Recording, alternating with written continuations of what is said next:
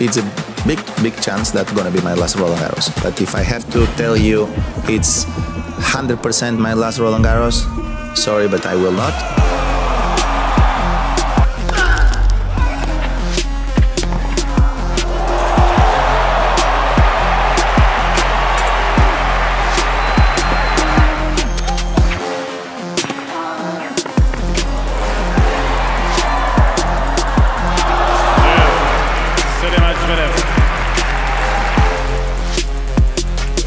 Yeah, the feelings that I that I have today uh, are difficult to, to describe in in words, but uh, for me it's so special to feel the love of the people the way that I felt uh, in the place that I love the most. So, merci beaucoup à tout le monde.